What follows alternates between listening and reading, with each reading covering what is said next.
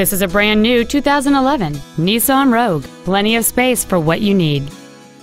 It has a 2.5-liter four-cylinder engine and an automatic transmission. Its top features include cruise control, a keyless entry system, a traction control system, side impact airbags, and a rear spoiler.